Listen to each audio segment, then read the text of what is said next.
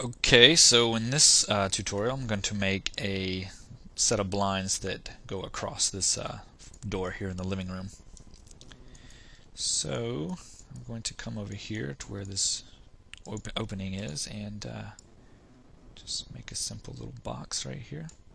Give it a little height. Then I'm going to come up here and put it into place.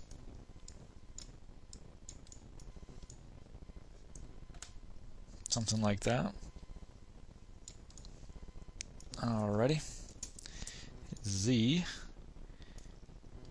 And though this won't be a main focal point in the room, um, I'm going to uh, give it just a little detail, not much. So let's give it a gray material first off. And we can go ahead and turn off the walls. And you can see that I'm building this on the default layer. Now we'll create a new layer. Just call it blinds. That way we're on there. Okay, so we'll convert this to an editable poly. And I'm just going to take this and let's inset it some. Alright, so we're going to inset this a little bit. Then I'm going to extrude it down. My neighbors are loud. I don't know if you can hear that, but I sure can. Alright, so I'm going to uh, do that. And like I said, this won't be a main focus, um, but it doesn't hurt just to give it a little bit, just in case the camera does see it. Um, and if you want to, we can actually select every single one of these edges, and we can just do a chamfer on that. Just very, very minute just a little bit. And it really doesn't matter about these four right in here because like I said this thing is going to be so small you don't even really see it up here. Okay. And now inside it what I'm going to do is actually go to this view right here. I'm going to make another little box that we put inside it.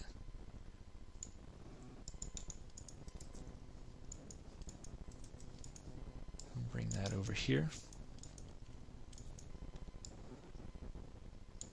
Okay. And then I'm going to set its length. Set its length so that it goes all the way across here. Which is actually not, yeah, which is the height here. So, all right and we'll just convert it to an editable poly and do it ourselves right here. Alright, have that in there.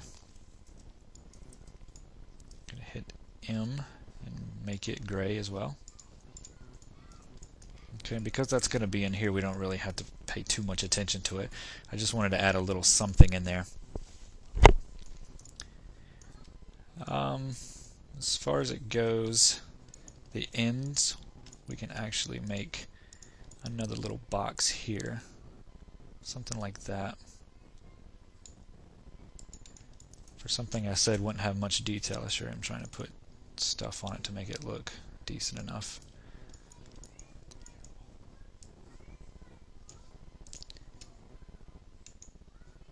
Convert to editable poly. And we're going to bring that there. Okay, I'm going to give this a gray material. F4 so I can see everything. I'm going to select every single one of these edges and just chamfer it a very little bit there. Alright, I'm going to do the same on the other side. I'm just going to copy it over. Okay, try to equal the space there.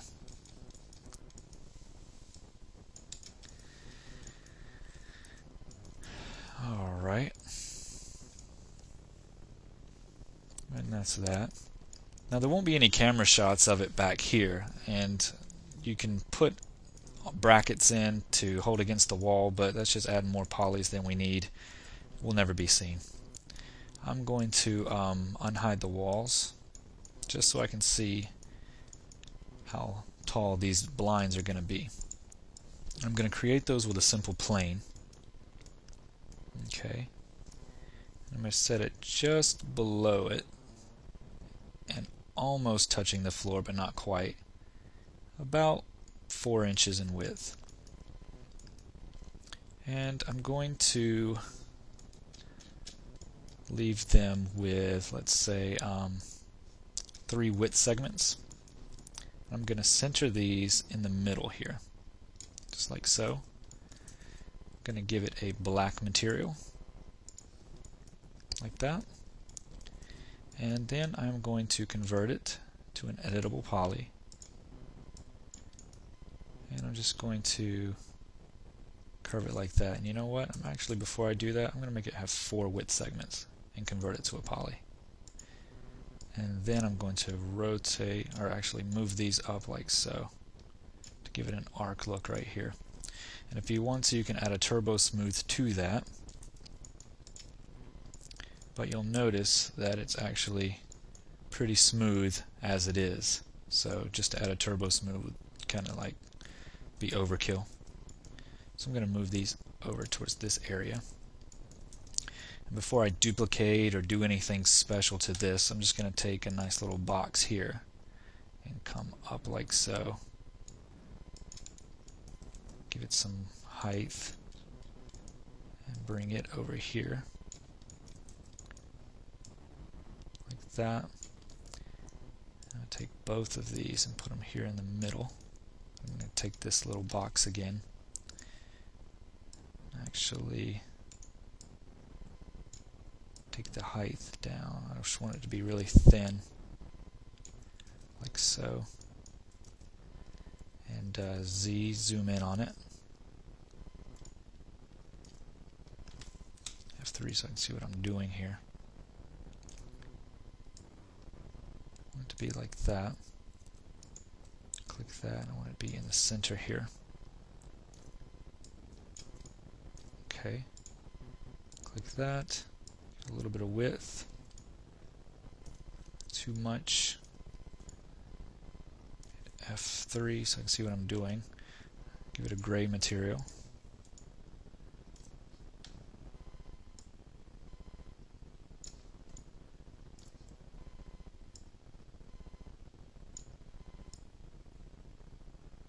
a little more length. Put it back in here. Convert it to an editable poly.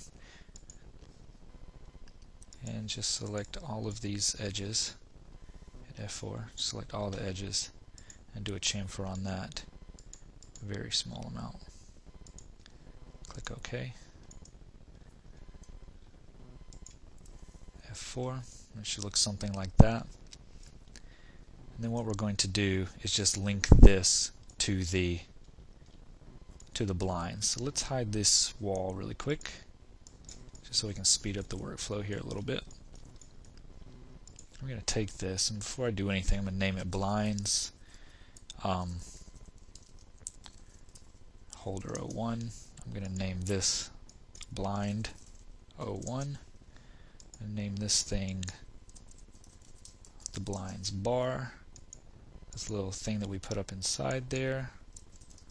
Blinds inside and blinds end 01 and blinds end 02 like that. Then I'm going to come in here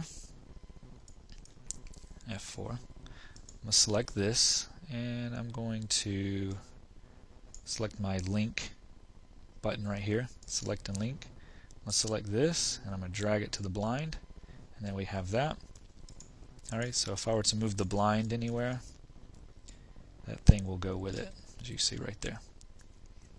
Okay, so we have that. Zoom in on it and make sure that it is actually holding that into place. It's centered in there, looks good. Okay, and now what I want to do is I want to rotate it a little bit like this because I don't want it to be completely shut. Actually, yeah, just a little bit like that, about 5 degrees or something. So what I want to do is duplicate this over, something like that. Click OK. We just do an instance. Let's say 12 and see what that looks like. Doesn't quite make it to the end yet, so I'll just control Z. And I'll do it again. Click OK. Oops. Do it one more time. And this time I'm going to do 30 and click OK. And that should go all the way across. And what I'll do now is just delete the ones that I don't need. Delete those. You see that it didn't do it the way I wanted it to, so let's go back here.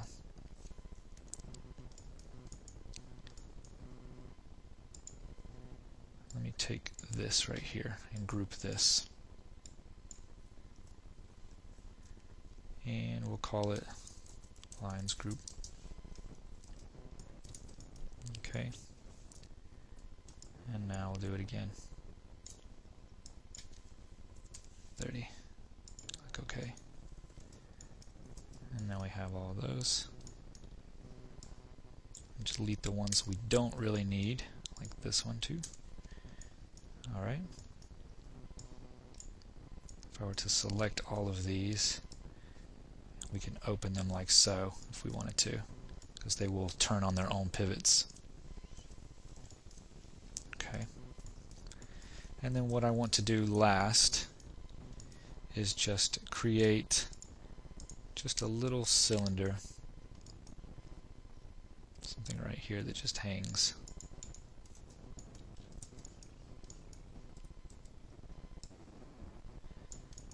Now we didn't wire these up to turn with this little guy right here. But if you want to know how to do that, I can show you with one. And then if you want to, you can do it with the rest of them. I'm just going to drag this down a little bit so we have like just a little little guy right here. And put him into place, say right here, something like that. And have him up inside there. Okay, F4. Give him a gray material. Okay, if you want to round off the bottom here, you can do that. Just select the polygons, alt select these, so you just have that. You just do a bevel, simple enough, and just bevel it in like so. And uh, click, apply, click apply, if I can talk and do that. And you can round it off like that. Pretty simple enough. Let Max save. Give that all the same. Um, give that all the same smoothing group. So it looks rounded right there. Call it blinds um, Turner thing. Yeah, that's what we'll call it. Alright, so we have that. And the blinds are in place. Now if you wanted to, what you could do, and this should work, if it doesn't we won't worry about it. I'll show you towards the end if it doesn't work. But if we wanted to have this blind right here be controlled by this rod, what we can do is right click it and open up the group. Okay, what I want to do is select, I want to select and link that to this. Okay, I want to take this and we'll right click and go to wire parameters and go down here Let's see if I can do it. Select this, go to wire parameters, it shows up down here. We'll go to rotation, Z rotation, and click this thing. So go to transform rotation, Z rotation. And we got the blind turner thing and this blind 25. We're going to go that way with it. Click connect. And it should work. If it didn't work, then, you know, I'm not going to worry about it. But you can see it does work. It just turned itself around all the way. So now if you wanted to, you can control these blinds just with this one guy right here. Okay. So we have that. But I'm going to go back to where I didn't do that because I don't really care to have it controlled by that. If I want to open these things, I'll just go in and select them all and turn them around. So it's up to you however you want to do it. I'm going to control, I'm going to take the whole thing, take group and call it blinds group. or blinds living room grp and then there's that. And then what I can do is unhide the walls. And then they're in there like that. F4 now we have the living room blinds in there. And we can open those up when we go to render it all. We can actually slide this over some if we want to. Something like that and we can open them up and let the uh, light come in when we get ready to render this thing in one of the last DVDs. Alright, so I hope you enjoyed this one, and uh, let's move on to something else.